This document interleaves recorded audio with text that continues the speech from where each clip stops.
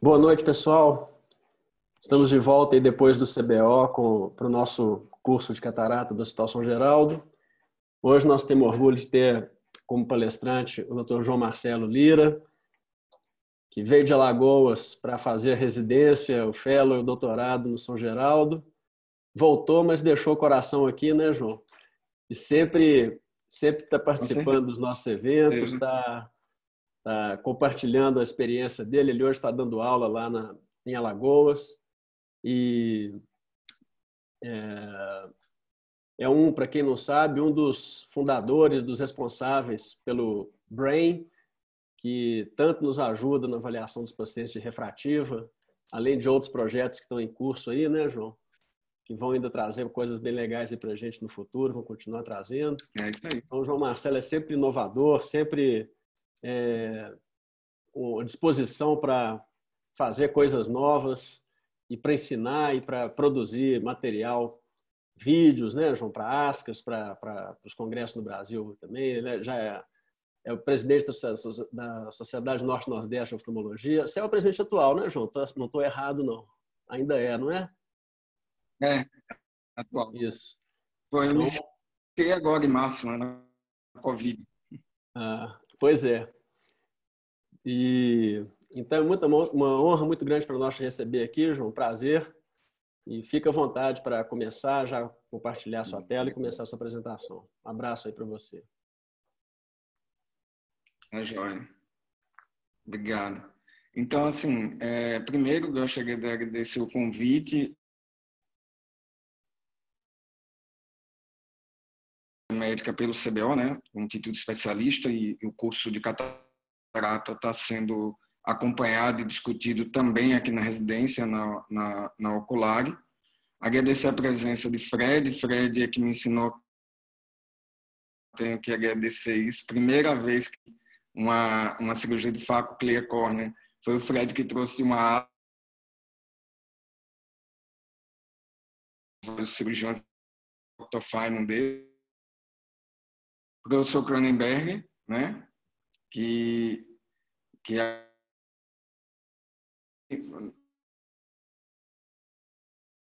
ah, como fellow também do glaucoma, que tenho muito orgulho junto com a... Então, agradecer a ele também. E vamos começar. Vocês estão me ouvindo? Então, sim, João. Está um pouquinho picado a sua conexão. Não sei se é aqui ou aí, mas está dando para ouvir sim.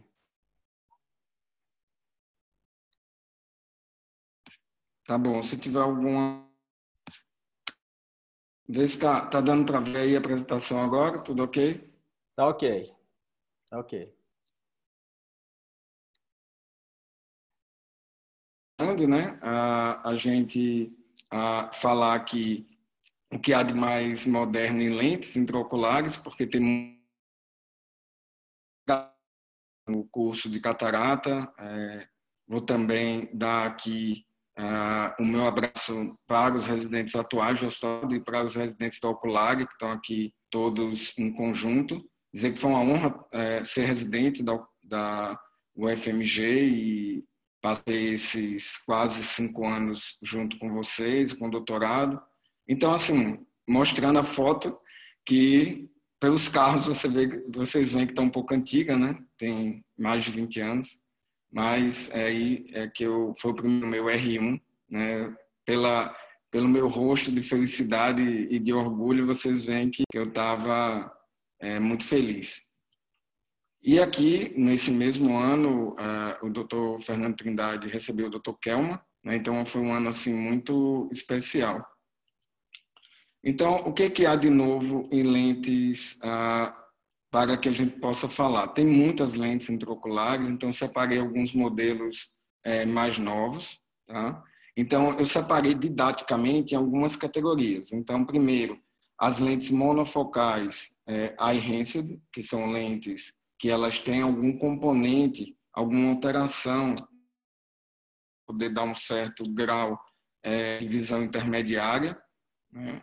Então, aqui a gente pode falar da que foi a primeira plataforma da Roya é, com esse tipo de dispositivo, com alteração uma modelagem na parte esférica da lente, na esfericidade da lente. A Technisai Henseth, que chegou agora, que vai participar da discussão, ele tem experiência com ela.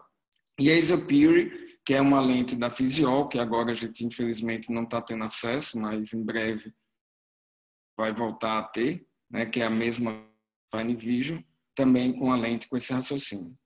Com a Wavefront Design, aí a gente já tem a Keysoft Vive, a fazer muito sucesso daqui a algum tempo, né? E ela é feita, a modelagem é feita através de Wavefront, então é um pouco mais complexa essa modelagem. E a Miniwell, que é da CIF, é uma fábrica italiana, que tem também essas zonas circulares é, tanto com a felicidade negativa como positiva. É, falando um pouco das EDOF, né, das lentes difrativas é, de foco estendido, ou EDOF, agora as novidades são as lentes com controle da aberração cromática. E aí a gente vai falar um pouco da Synergy, que é uma lente que, vai, que entrou agora no mercado, há um mês atrás, e a, da Fine Vision Triumph, que também está no mercado europeu, em breve espero estar aqui. Então, qual a característica principal dessas duas lentes? É, elas têm características de focalidade, apesar de serem EDOF, de foco estendido, e o controle da aberração cromática. Falando um pouco é, das lentes agora de pinhole, nós temos a Extra Focus do Cláudio Trindade, que é uma lente que é para ser colocada no suco após o implante da primeira lente no saco capsular. Temos a IC8 ah, também, que é uma lente ah, nova, que ela aí sim tem um efeito do pinhole, mas ela é implantada direto no saco capsular, mas com esse efeito aí anésio pinhole. E a última, a lente de Chariot, é uma lente baixa visão, porque ela tem uma adição de mais 10, que equivale a mais 7 bem no centro da lente. Então, é uma lente é, para implante secundário, para pacientes com degeneração ocular, forma seca ou outros tipos de alteração que levam a baixa visão de longe. Por quê? Porque esse anel central magnifica, mas o restante da lente ela é plana. Temos também as, as lentes segmentares. O que, que significa isso? A lente refrativa normal, é, a Resum foi uma das primeiras lentes multifocais tem, não estamos mais usando, mas elas tinham é, segmentos refrativos circulares. Aqui não, a novidade da Precision, que é uma lente da Oftec, é que são é, segmentos refrativos, né? então ela é segmentar. E é, que é também uma lente bifocal, né? de longe e perto, e a gente vai apresentar é, também. E a outra lente, a WIOL é, né, que é da Medicine, é uma lente que ela é bioanalógica, porque ela é parecida com o cristalino, ela não tem alças. Então, é uma lente grande, de 8,6 é, milímetros de zona ótica, de 7 milímetros de zona ótica, mais de 8,6 de tamanho, e ela não tem alças e ela mimetiza o cristalino. Então, são essas lentes que a gente vai abordar hoje. É, os dois artigos que, que eu levei em conta, assim, que era, era bom que vocês baixassem, né, é, são esses. É, esse que é sobre ah, justamente os avanços, principalmente no design, que é o que a gente está abordando aqui, e também essas novas gerações de lente intraocular com alta performance, alta qualidade de visão. Então, esses dois artigos eu recomendo aos residentes que baixem e leiam com atenção, porque foi baseado nesses artigos que a gente ah, organizou o conteúdo. Então, as lentes monofocais, modulação da aberração esférica, a primeira lente que essa tecnologia foi justamente a lente é, Vivinex. Essa lente Vivinex é uma lente ah, da Roya, né? E ela tem, não é uma monofocal simples ela tem uma alteração na parte uh, mais central da lente, justamente para diminuir o coma, a descentração. Tá? Além, é um material glycerin free, ela tem redução da pacificação da cápsula posterior, é, tem o iCert, ela já vem preloaded com incisão, é, incisão 2.0, mas o que vem ao caso aqui é falar um pouco do design da lente. E esse ABC design nada mais é do que o seguinte, é uma modificação no design da lente para mudar essa esfericidade. E a gente precisa entender o conceito da esfericidade. Então, no cristalino jovem, o que, que acontece? A córnea ela é fina no centro e mais espessa na periferia. Então, o raio que está na periferia ele encurva mais. Por que, que a, o cristalino é o inverso, é uma lente invertida? Ela é mais grossa no centro e mais fina na periferia, para fazer o efeito de divergência desses raios. Então, o raio ele está vindo na média periferia da córnea, ele faz a convergência muito rápida, muito angulada. E o cristalino, que ele é mais fino na periferia, portanto, oposto ao mecanismo da córnea, esse raio ele vai ser, sofrer uma certa divergência para que aconteça a refração no único ponto. Já quando o cristalino vai ficando envelhecido, como vocês estão vendo aqui no slide da direita, o cristalino ele vai crescendo com a cebola e, e a parte periférica vai ficando mais grossa. O que, que acontece com isso? Aí a aberração esférica ela não, da córnea natural, que é positiva, ela não vai ser corrigida na sua totalidade. Então, a diferença entre uma lente esférica e uma lente asférica, ela é, por exemplo, mais 20, ela é mais 20 em toda a sua área.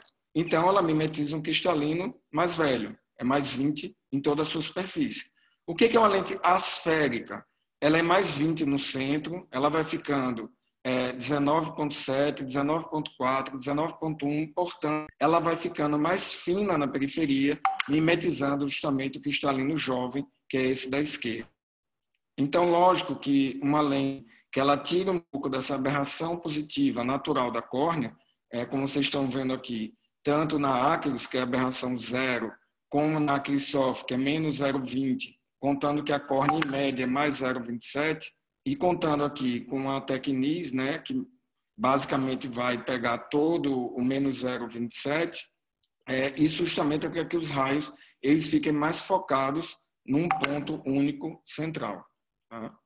Então, mas o que, que acontece quando a lente ela tem, é, como vocês estão vendo aqui, é, diferentes é, graus? Né? O que, que acontece quando a lente tem diferentes graus? Se ela tiver uma leve descentração, não vai ser no mais 20, vai ser no 19.7, 19.6, e isso pode ocasionar coma, dispersão da luz. Aqui é um, OCT nosso mostrando uma lente levemente deslocada e isso pode ocasionar esse tipo de sintoma. É, fora isso, é, você também tem a, o efeito do próprio ângulo capa. O ângulo capa é a diferença entre o eixo pupilar, onde geralmente é centralizada a lente, e o eixo visual. Essa diferença geralmente é de 5 graus ou 0,36 milímetros. Então, com isso aí, a lente ela pode não estar, pode estar posicionada no centro da pupila, mas pode não estar posicionada no centro do eixo visual. Então, o ideal é que a lente tenha alguma capacidade de aguentar uma certa descentração. E aqui, esse caso, vocês veem, é um paciente é, que tem uma nisometropia, então, no olho direito, ele tem mais dois, e aí você tem aí um ângulo alfa, ângulo capa, de mais ou menos 0,27 milímetros. No olho esquerdo, que ele já tem um grau mais alto, mais 5, aí o ângulo capa é maior, de 0,52. Então, até 500 micras, 0,52 milímetros, as lentes geralmente suportam essa diferença. Mas acima de 0,52, e mesmo a lente monofocal pode sofrer alguma distorção. E aqui, numa multifocal, é muito maior esse efeito, né? Então, a, o que, que acontece no ABC design da Roya? Ela vai ter um menisco positivo, tá? A primeira lente dela é um menisco positivo pequeno, depois ela vai ter um menisco negativo. E aí a combinação entre esses dois meniscos, que é o ABC, vai diminuir a distorção. Então, nesse gráfico de aberração esférica, o que que acontece aqui? A lente ela vai começar como se fosse uma lente de 20, né? Ela vai começar 19.9, depois ela vai passar para 19, aliás, ela vai começar em 20, 20.1, depois ela vai diminuir para 19 e pouco, ponto 7, ponto 6, depois ela volta a 19.7. Então, essa curva é que vai fazer com que você tenha essa diminuição da descentração, tá? Porque aí você vai induzir um coma positivo e um coma negativo. E aqui é verdade. Se você comparar aqui o coma induzido, concentração de 0,4 milímetros é, e numa descentração de 0,7, que já seria uma grande descentração, a Vivinex ela tem um percentual de coma menor em relação à Tecnise e a Kisof. E aqui a gente vai mostrar um efeito secundário. Né? Essas lentes, como ela tem essa, essa região central prolada, né? então o que acontece com essa lente? Ela vai ter um efeito é, também a, de melhoria da visão intermediária. E aqui o paciente... No olho esquerdo, tu vai agora ver como é que está essa visão de perto. Pode ler. 1, 6, 2, 3, 9, embaixo isso aqui, embaixo é 8, 7, 9, 6, 7, 5, 8. Pronto, então ele está no J1, é uma mini monoba, uma mini básica no olho e 0,75 no outro. Por quê? Porque meio a gente está atribuindo a esse efeito do menisco positivo da lente. Tá? Então, baseado que é esse menisco pequeno, baseado nesse efeito, a Johnson recentemente desenvolveu uma lente chamada iHensed. É a iHensed monofocal, porque justamente é uma monofocal tem esse efeito. Qual é esse efeito? É esse efeito da zona ótica, que ela é uma zona ótica que tem uma, uma região prolada no centro, e essa região prolada vai dar o quê? Vai dar uma, um degrau, né? uma profundidade de foco, que a lente normal Tecnis One, que está aqui à direita, não tem nenhum efeito em relação a essa profundidade de foco. Então, basicamente, o que, é que vai acontecer com essa lente, é, que é a enhanced, comparada com a lente Tecnis One? Quando ela ali em menos 1,5, mais ou menos, que é 40 centímetros, ela ainda dá 20 32. Já a lente monofocal normal, Tecnis One, ela já está em 2040 ou 2050. Significa na prática que ele com 50, 40 centímetros ele vai ler um J3, J2. E aqui é a explicação, né? A lente normal, monofocal, você vê que não, os raios estão presetados para um único ponto. Ela é uma monofocal asférica. E agora, a monofocal asférica, com essa indução positiva bem no centro, você vai induzir dois focos, um intermediário e um para longe. E aí, o que, que isso vai ocasionar nos estudos iniciais? Né? Você vai melhorar essa visão intermediária que é tão hoje em dia, leitura de tablet, celular, é, cozinhar, ver o painel do carro.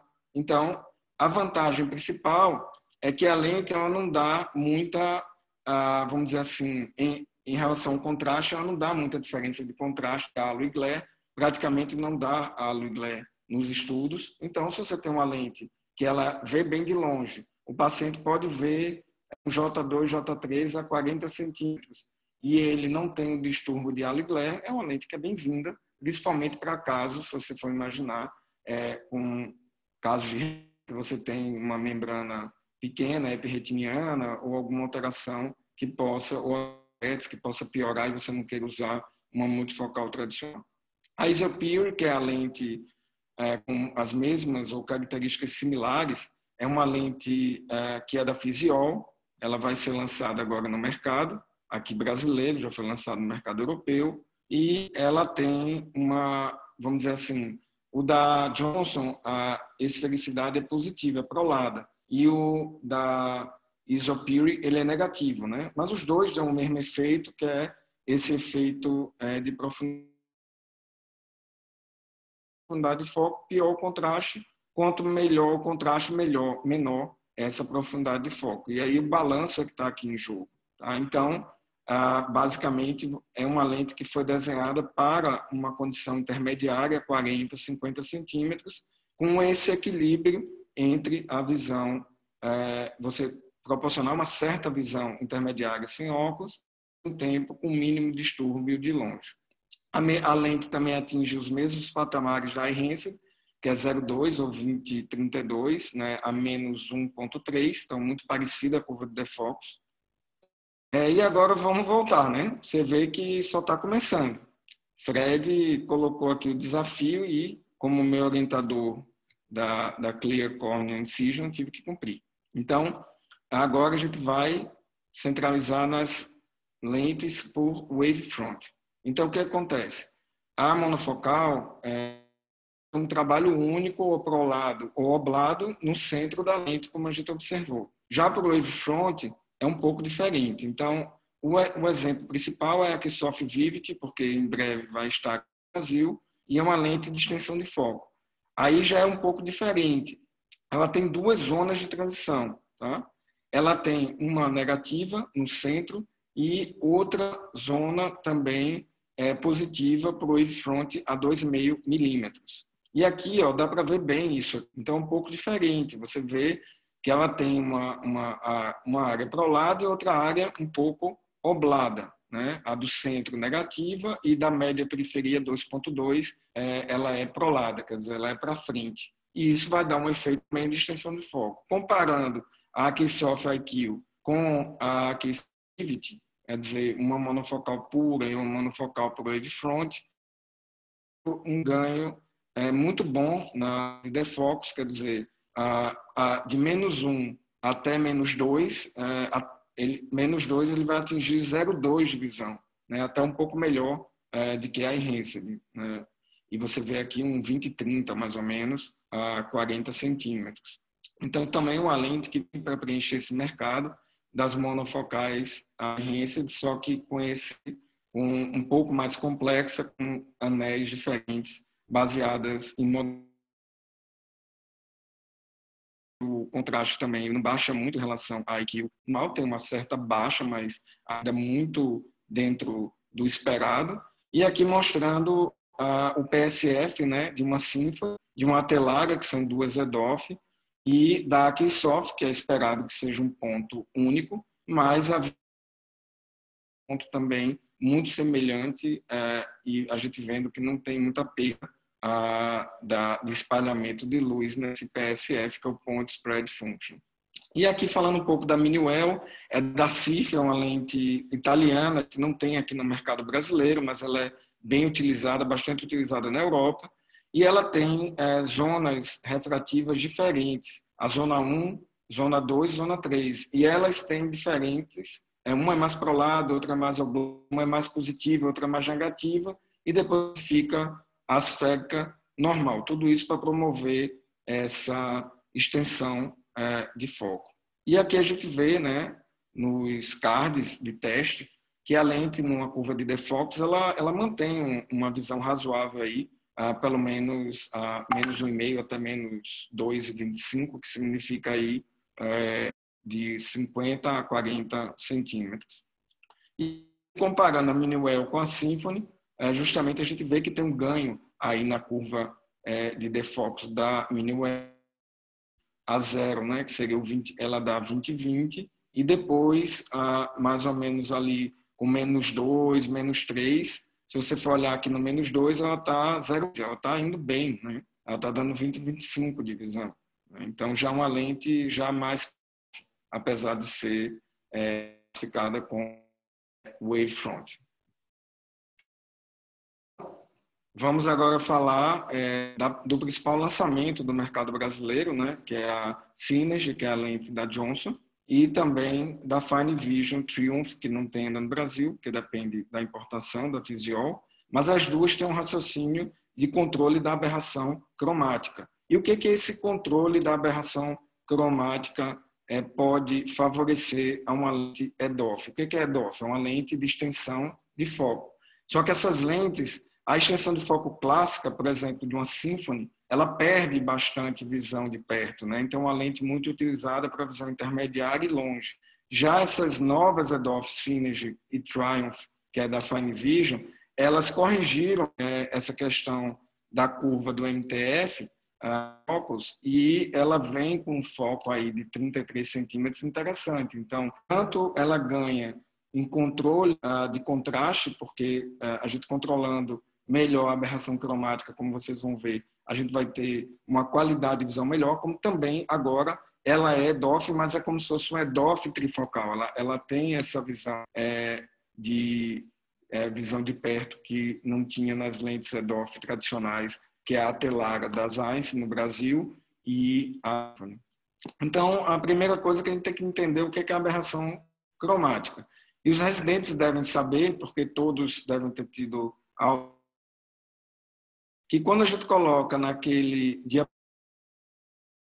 do é, colocar o verde e o vermelho com um paciente, por exemplo, míope e que não está podendo dilatar, não está podendo cicloplegiar, e a gente coloca mais lentes negativas do que o esperado para o caso dele, ele vai ver melhor o verde.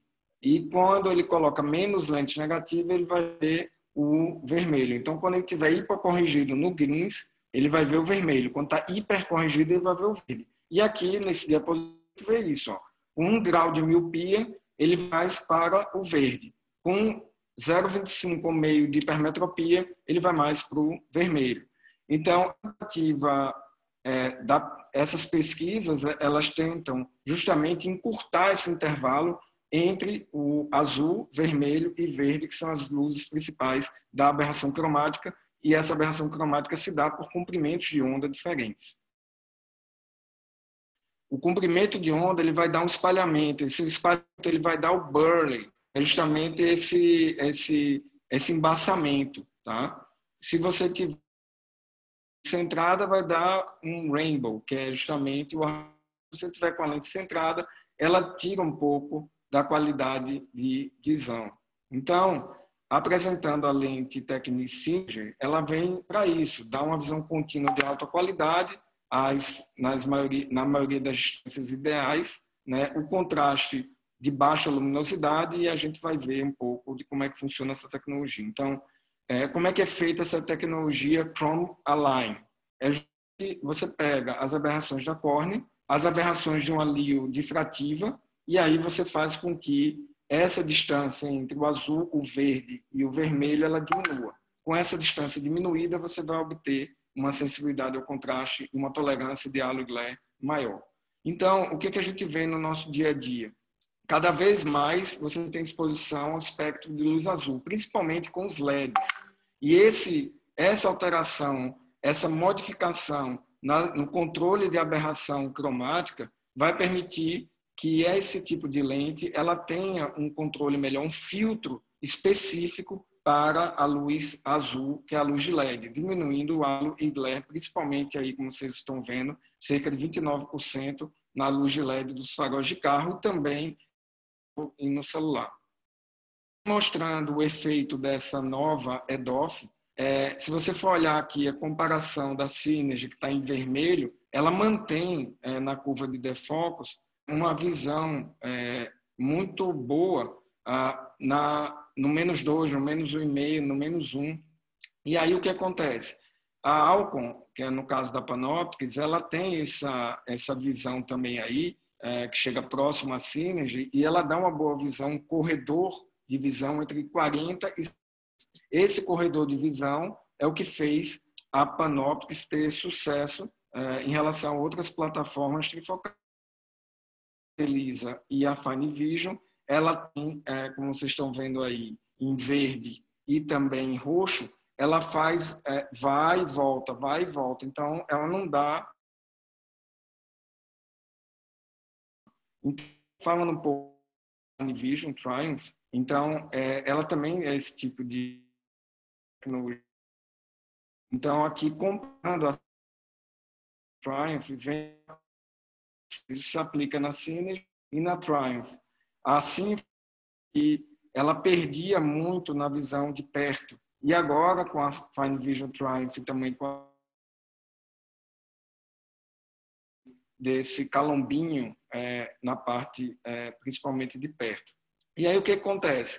Se você pegar uma Fine Vision normal, que é uma trifocal, é, ela vai ter esses picos e vales é, maiores. E na visão interna vários estão mais éticos. Isso faz com que é, você tenha essa sensação de não perder a visão em várias distâncias, de 33 centímetros até é, 60, 65 centímetros, né? que é esse é, que eles estão chamando agora, não é mais EDOF, é Elongated Depth of Focus. Então, é, isso se aplica para as duas tecnologias, tanto para Triumph como também para Synergy.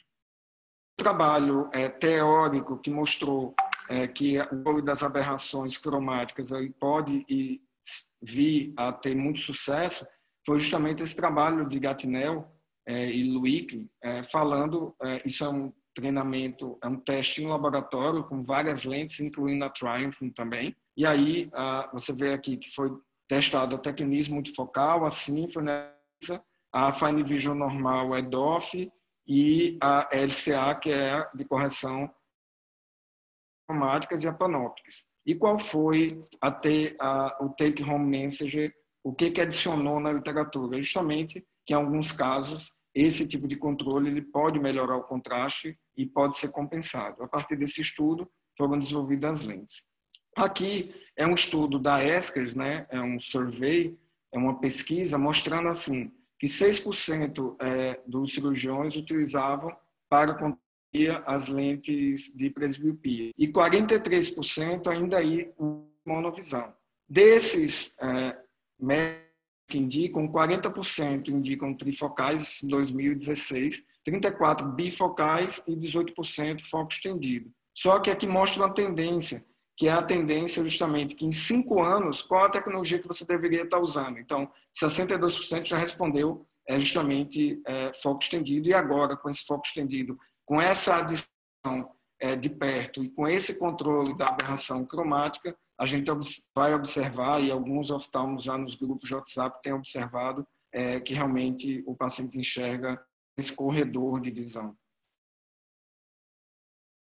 Nossa etapa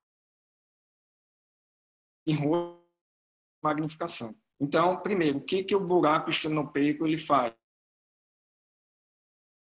Crawford, ele faz com que, com as pupilas pequenas ou qualquer é, barreira que você coloque, você estimula o fotoreceptor. É, ele, ele...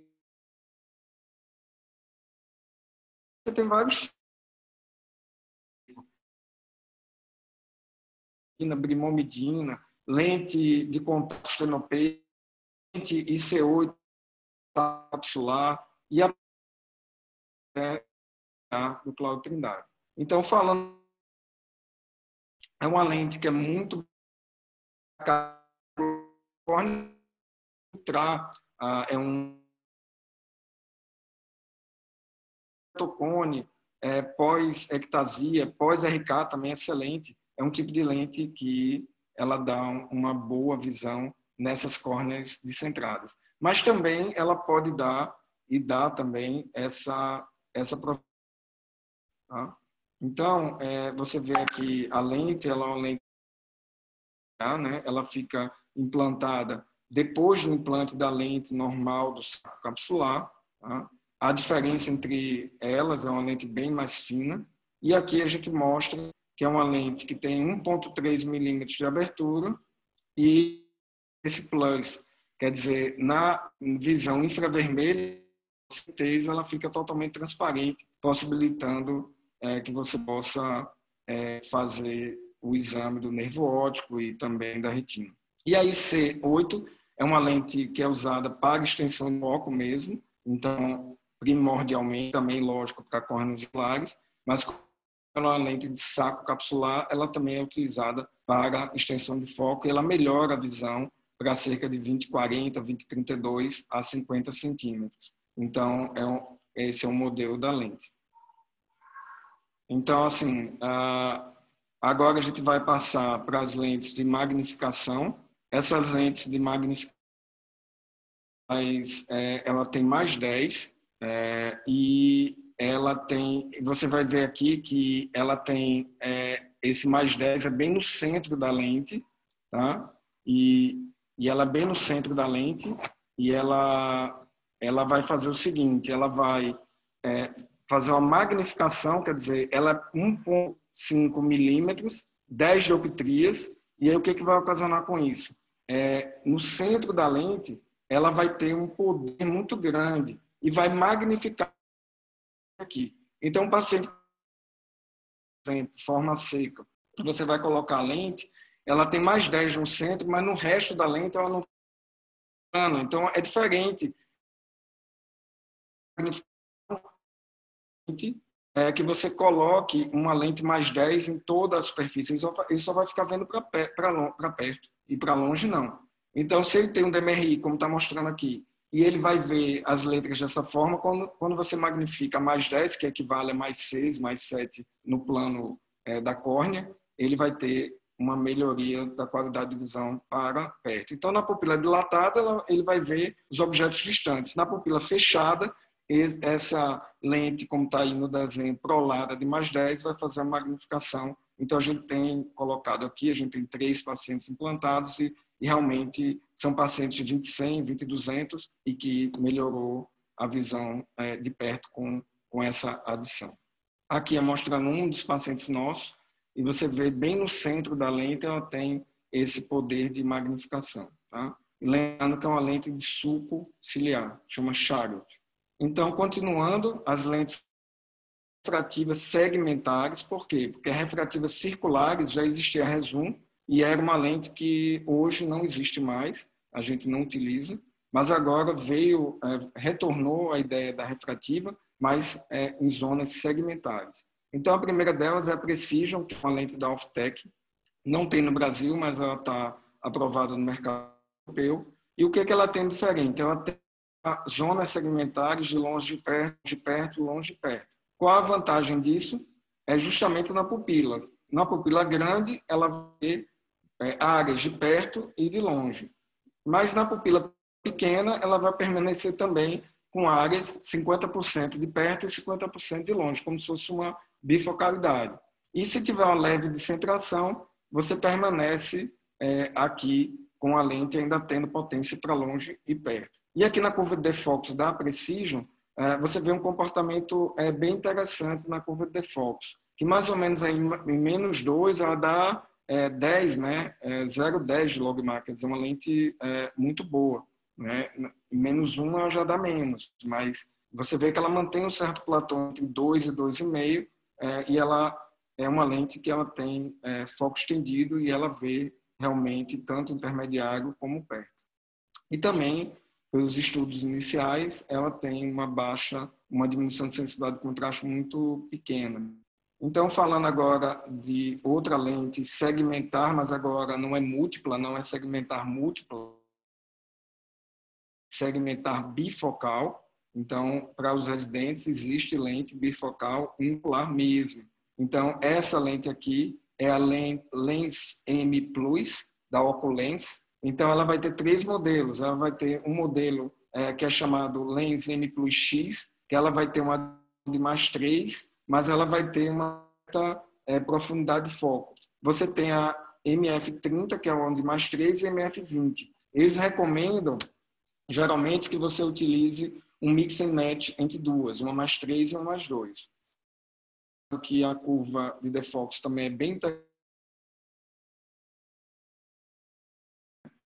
Então, é, a última lente é uma lente que eu chamo bioanalógica, porque aí já é uma lente totalmente diferente, ela não tem alças, e ela vai mimetizar o que... Tá? Então, o que acontece? Essa bioanalógica é uma lente que ela é uma lente maior, é de 8,6 a 9 milímetros, ela não tem alça, e ela chama polifocal. Ela vai ser hiperpolada na parte posterior leitura, além dela ser hiperprolada e ela já na ela vai dos raios que estão vendo aqui, profundidade de foco, ela ainda com, com a pressão a, a, o seu arranjo tridimensional a contração do corpo ciliar.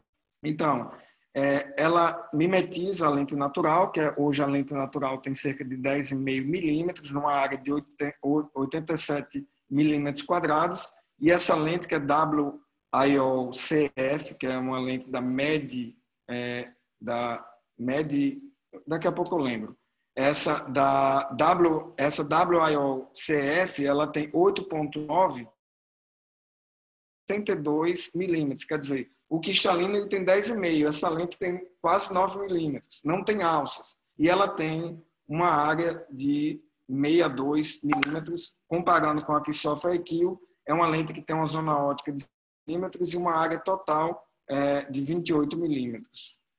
E aqui é da Med 100, né? a WIOL-CF da Medicine.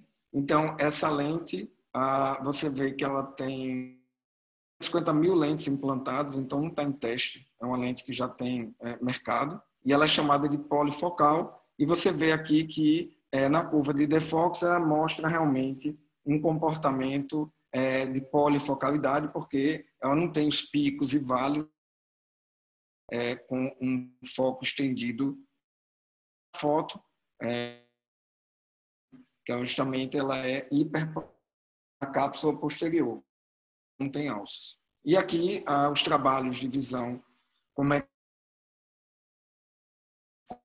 então você vê que ela dá aí um J2.8 é, a 50 centímetros, 40 centímetros, então ela é uma lente de visão intermediária e longe, mas tem essa vantagem ah, você não né, ser uma lente que mimetize o cristalino.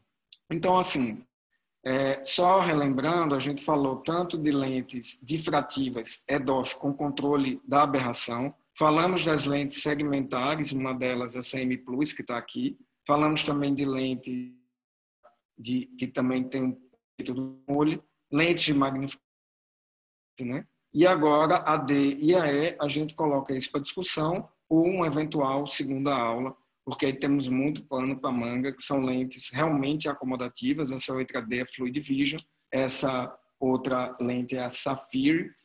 Então, são lentes é, que, inclusive, ah, tem também modelos ah, que já mimetizam com baterias o movimento do olho normal. Então, isso é uma discussão para a próxima etapa, para o nosso segundo tempo de bate-papo, porque já tem muita informação e eu recomendo que vocês baixem esses dois artigos e leiam com calma, com, com tranquilidade, para que vocês fiquem muito bem informados de que é uma verdadeira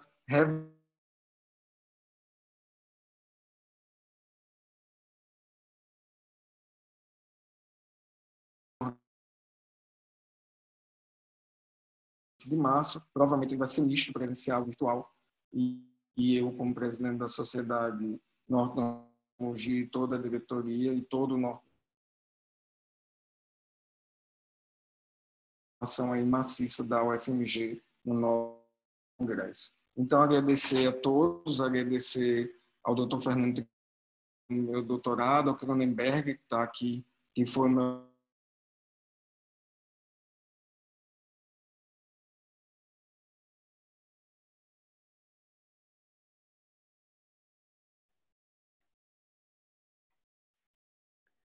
João, você está aí ainda? Tá achando que caiu a sua conexão, João. Ah, voltou.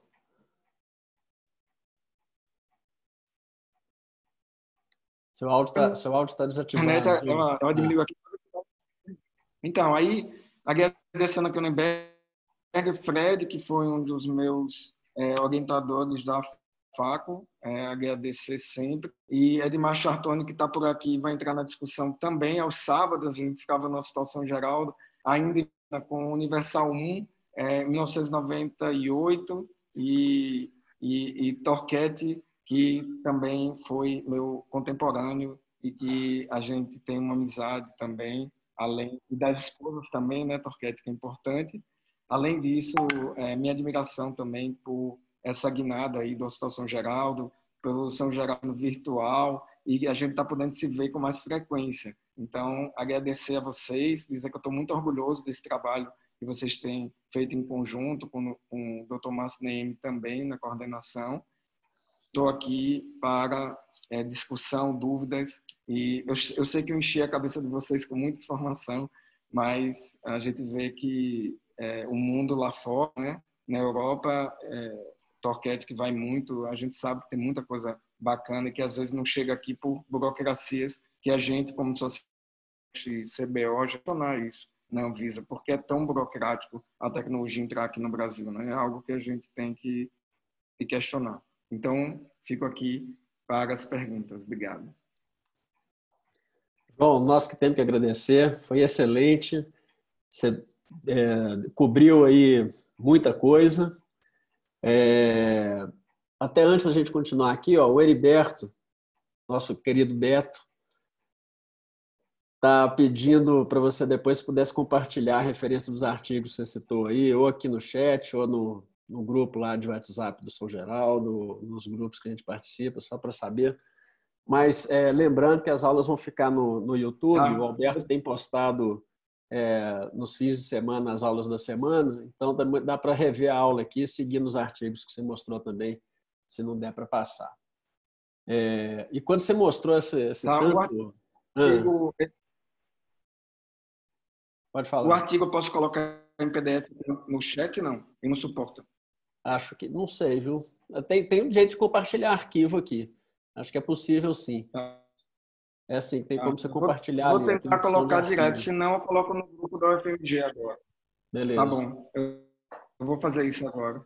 Ó, o Léo chegou aí também no meio, né, Léo? Estava na reunião do Congresso lá. Bem-vindo. O Alberto pediu desculpa que não pôde entrar. Ele, ele também estava ocupado. Depois ele falou que está com uma crise de enxaqueca lá, teve que ficar quieto em casa, lá no, no, no sala escura.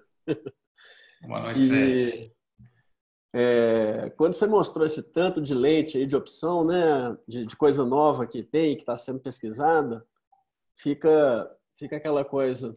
Por que será que tem tanta tanta lente assim, né? É porque, na verdade, a gente ainda não tem a lente ideal, né? Como é que seria a lente ideal?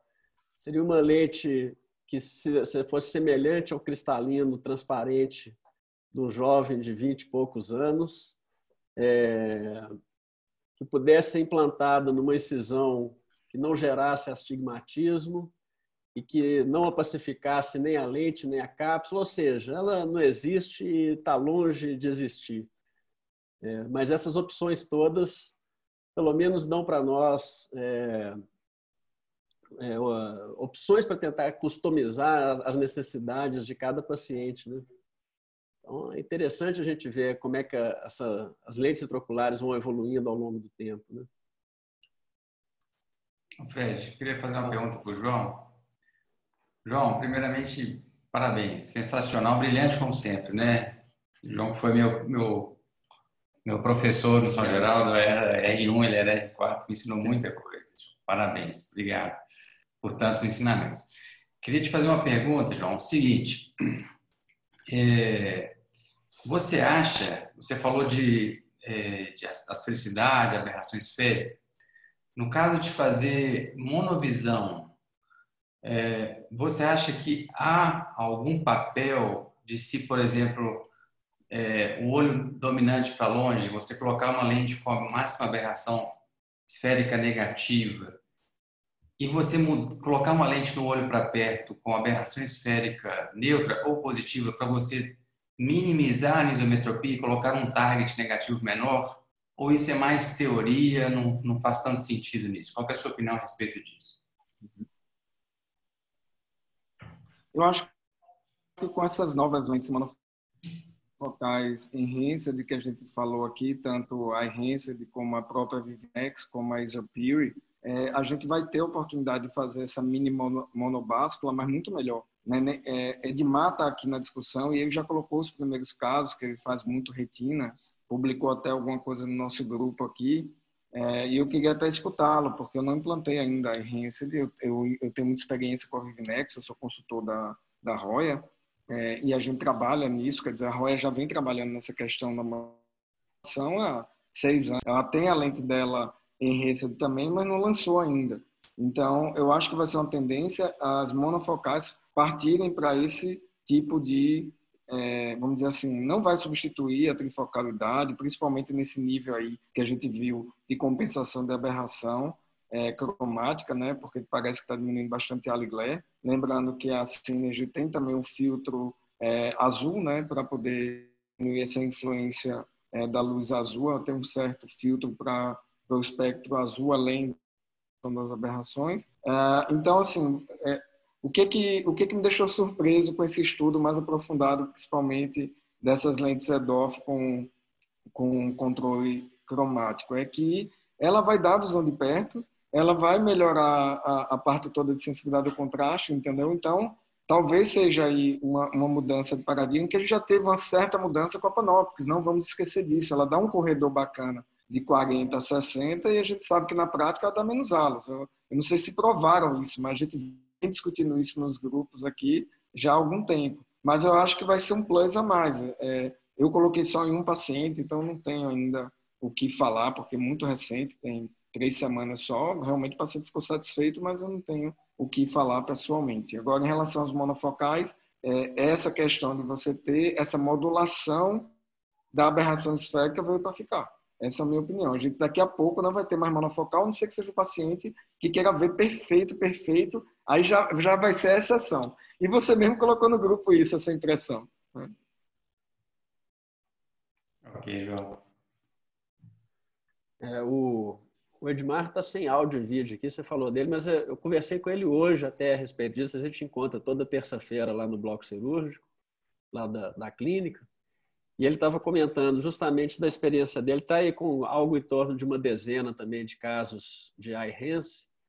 E eu implantei uma paciente só por enquanto, um olho, e a impressão minha foi a mesma dele, dessa dezena de casos. Os pacientes conseguem ler, para colocar na prática, conseguem ler J3, J2, com a, é, com a correção de longe, né? se não tiver plano para longe, e precisa de uma adição em torno de 1,5 para conseguir ler o J1. O que já é muito bom, considerando que é uma lente que não está produzindo halo, nenhum outro efeito. Né? Quando o paciente aceita usar um óculos de baixo poder e, eventualmente, eu acho que é uma, que é uma opção interessante. Né? Vamos ver como é que vão ver as outras lentes, vão estar chegando aí. Esse ano está um ano muito rico aí de opções para nós, né? tem muitos lançamentos interessantes para gente, a gente experimentar e aprender.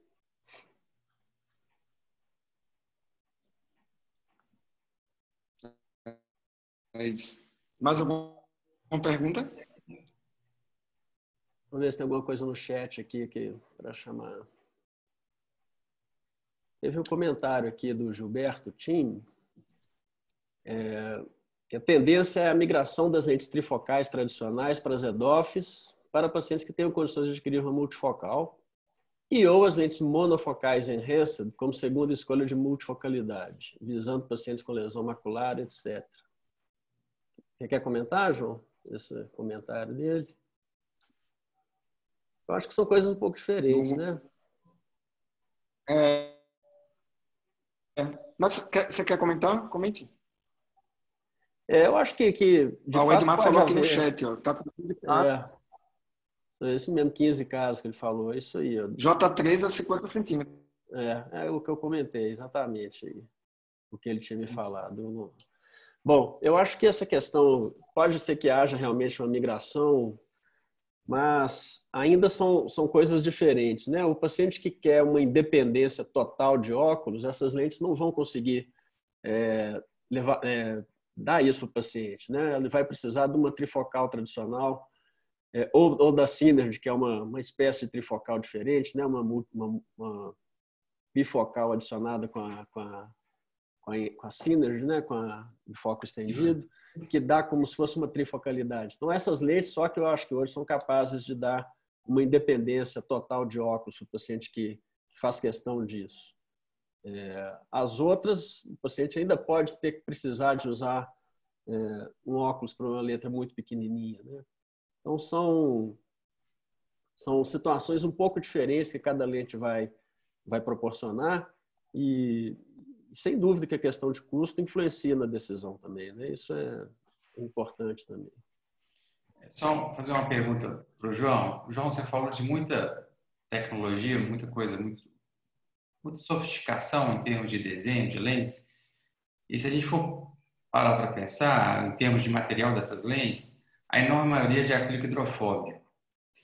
É, no Brasil, a gente usa muito mais acrílico hidrofóbico que hidrofílico. Na Europa se usa bastante acrílico hidrofílico.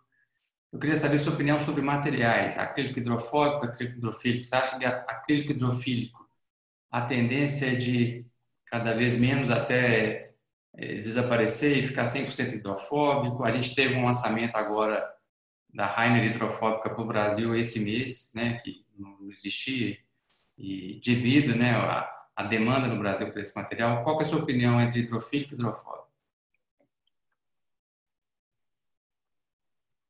É, a hidrofóbica, é, eu acho que vem ganhando mercado mesmo, principalmente essas novas modelos com glistener free ou com pouco glistener, né? Tanto a Clarion é, como a Vivinex, elas vieram com essa proposta uh, de diminuir a questão dos glistener, o que nos incomodava, né? Principalmente nas restock, quem colocou muito e, e ficou muito tempo acompanhando o paciente.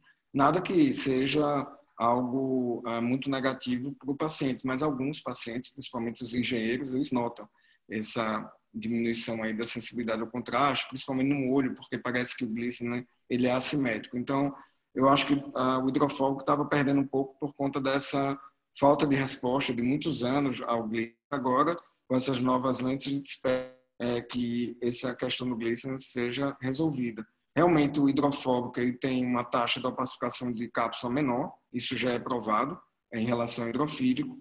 Ah, agora, o hidrofílico ele ainda é usado porque tem um AB maior. Aí o AB a gente precisa entender justamente que é o índice que corrige parte das aberrações cromáticas. Quanto mais o AB maior, você tem que as hidrofóbicas precisaram de, de, alteração do desenho. Aí, aí a gente conta um pouco do material, a gente conta um pouco da história. Por que, eu tenho uma Synergy, eu tenho uma Triumph, precisando fazer uma alteração mais, mais incisiva é, nas aberrações cromáticas, no controle da aberração cromática. Por hidrofóbico, o material por si só, ele já tem um AB, é, esse AB ele vai dar uma aberração cromática maior do que a, hidrofílica. A, a hidrofílica.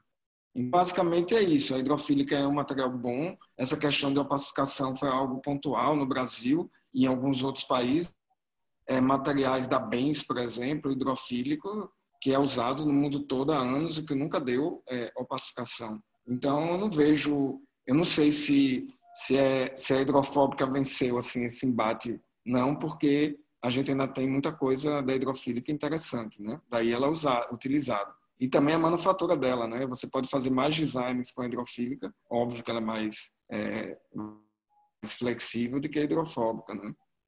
Uhum.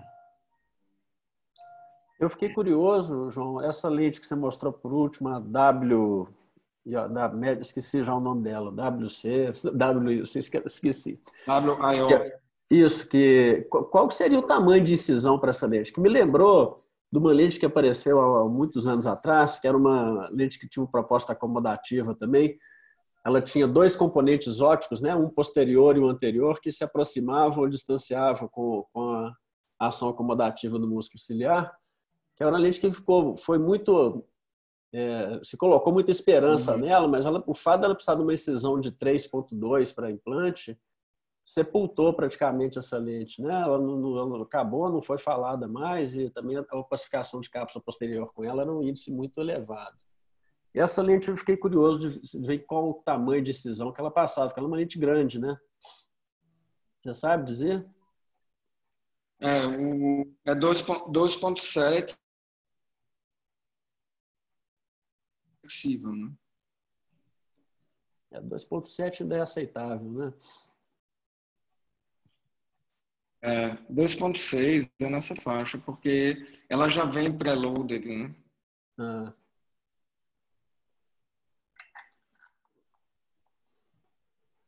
Muito bom. E, e, lembrando também que não deu tempo de falar, é que a, as lentes tipo de suco para a correção de um eventual erro refratométrico ou erro residual, como a, a Sucoflex e também é, temos lentes da Medicontour, elas agora têm um designer é, que é a Sucoflex, né, que ela é uma lente de adição para suco. Para um exemplo, você fez uma cirurgia com a monofocal, o paciente ficou insatisfeito, você pode colocá-la. Ela era refrativa, também foi esse lançamento recente da da Rainer, quer dizer, a lente passou a ser difrativa. Já existia com a Medicontour, eu já tinha até implantado duas lentes difrativas parecidas com a Restore, o MTF True Focus parecido com a Restore, e agora a, a Rainer também lançou uma lente é, Sucoflex é, também é, difrativa. Mas não deu tempo de falar, né? Muita coisa, né? Tem sempre, se for olhar o que mais que tem na indústria aí aparecendo, não dá para ficar só nesse é. tempo nosso. Outra coisa que eu achei interessante é a gente ter uma, uma, uma, um ressurgimento né, da, dessas lentes segmentadas, das lentes refrativas, né, que depois da, da Array, que foi a, das primeiras, a Resume, que também tinha tecnologia refrativa, e, e elas desapareceram por causa de, dos problemas de halos, que são muito intensos com elas, né? e elas estão renascendo aí nessa, nessas, nesses modelos segmentares que você mostrou, e a gente fica com, com pé atrás quando fala que é refrativa, né? Mas é interessante ver que o conceito está sendo reformulado. É tanto que essa Precision, a Doftec e a Adapt, ela vai trazer para o Brasil a, a Precision. Então já é uma lente que não fica só no nosso radar teórico. Ela, ela mais cedo ou mais tarde, com a aprovação do CIEMAR, que, que eu acho que foi aprovado ano passado, a tendência é que ela traga mesmo. Legal.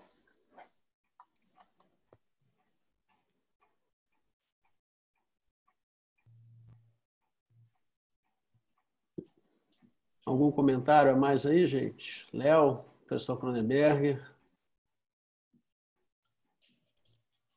Eduardo Adan está nos ouvindo aí, ok? Se quiser entrar, fica à vontade para fazer algum comentário, Eduardo. Tá.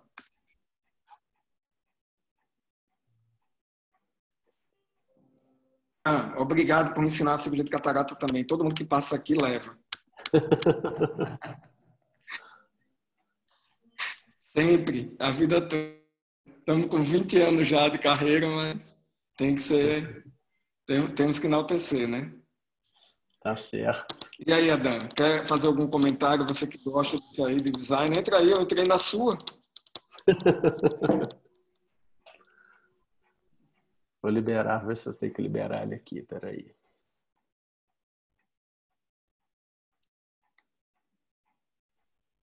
Boa noite a todos. Olha ele aí. É, tudo bem, Fala, gente? Tudo bem? Mais uma vez aí, né? Eu estou, eu estou achando esse curso assim, fantástico. É bom rever os amigos agora. A gente está mais próximo do que antes, né, né, João? A gente se vê assim, é muito legal. Com certeza. É, eu fico assim. Só falta passar que... a pandemia e vocês virem para aqui para casa. Fico pensando, igual o Fred falou, tantas soluções, não diz que nenhuma delas é perfeita, né, Fred? Tantas é. soluções. A, a sala que... do João a gente está até discutindo pouco, porque está todo mundo assim, né? Pensando. Bem assim, né? Fora indo, da... né? É. Onde nós, para onde nós vamos, né? Onde nós estamos, para onde nós vamos. Eu tenho um conhecido aí, eu acho que o Léo conhece ele lá na Espanha, é, e ele gosta dessa Precision lente. Eu achei essa lente, eu fui ver o design da lente, um design muito, muito assim, inovador, uma lente extrema. É, você vai vendo como é que os focos são completamente díspares. É uma coisa que me deixou assim, é, encucado, né? Não fico encucado com essas coisas. Amanhã, inclusive, até o convite que eu quero estender a todos, vai ter um seminário da doutora Filomena aí que vai nos brindar com aula amanhã às 9 horas. Quem tiver interesse, quiser que eu mande o link, eu posso mandar um link que o, que o COAF está fazendo lá um seminário. Mas essa Synergy é o que eu falo, eu falo com todo mundo a lente, é extremamente interessante, mas o que acontece? Eles lançam a lente sem inversão tórica, né? Lançam a iHense sem inversão tórica e fica um negócio o Saci, além de Saci, só tem uma perna. Né?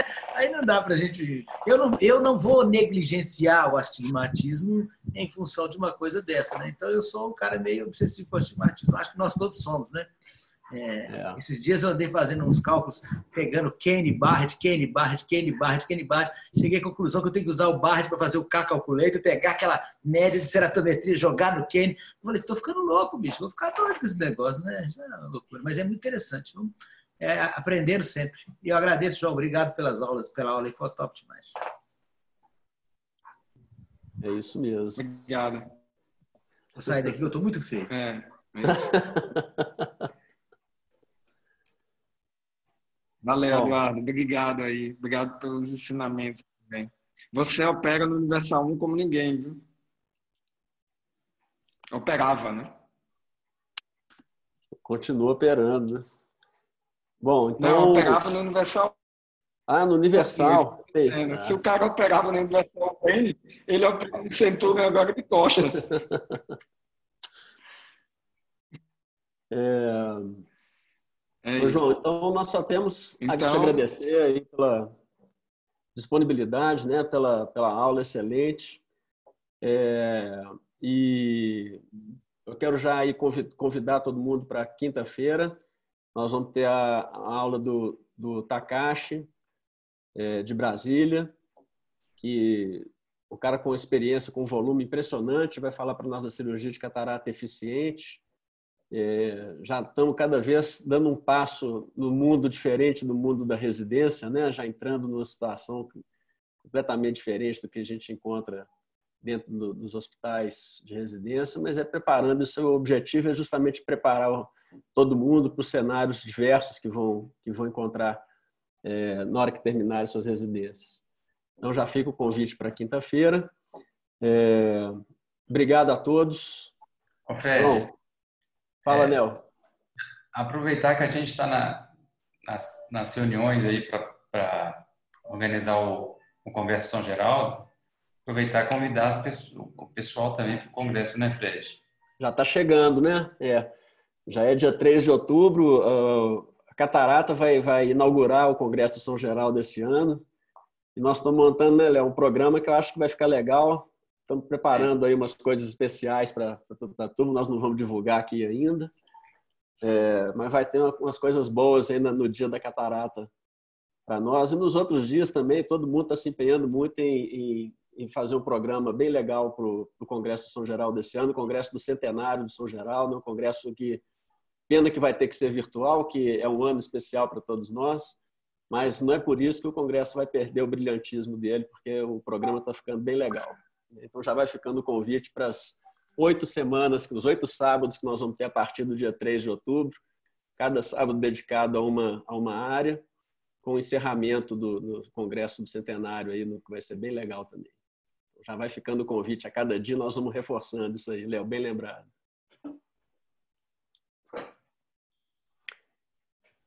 Então, gente, é isso aí. Vou terminar a gravação. Então, só, é, só